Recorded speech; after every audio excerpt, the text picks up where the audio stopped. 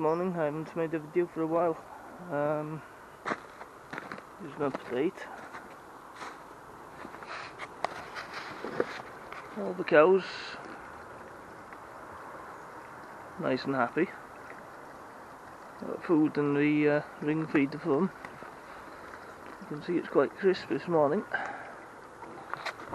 Um, it's actually minus three here at the moment. Um, yeah, I had a few issues this morning. Um, I couldn't get into the shed to uh, give the cattle water because uh, the padlock had frozen. So, in the middle here, um, the calf who had the fly strike, so I'm just gonna go and have a look at him, see uh, see how he is.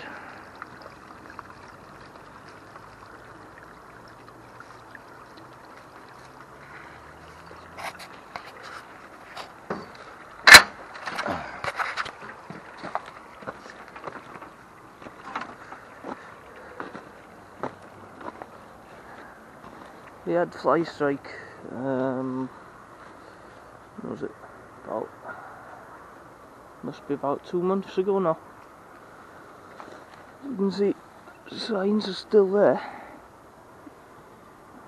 but he's healing quite nicely.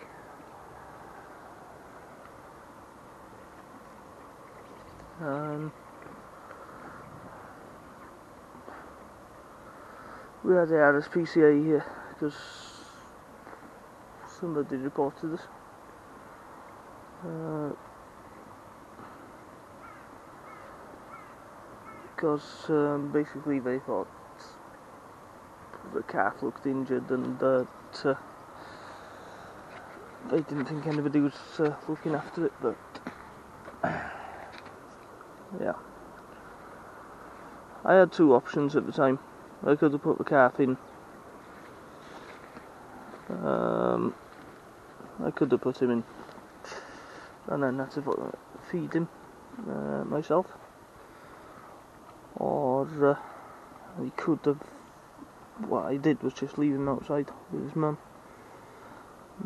Because uh, he was still uh, drinking milk. Really if I'd have put him in I'd have had to uh, put him with powdered milk all the time so. Um, there is little Mike. Happy calf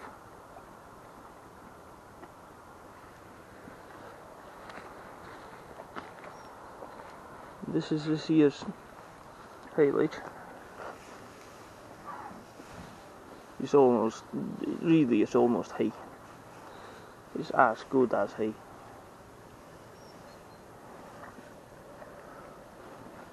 I put this bale in yesterday. And uh, yeah they're munching way through it so. Yeah. There's an update on how the farm's going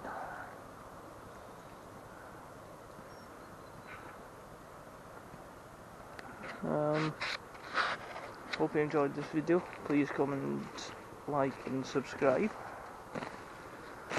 and uh, I'll make some more videos um, as soon as I can.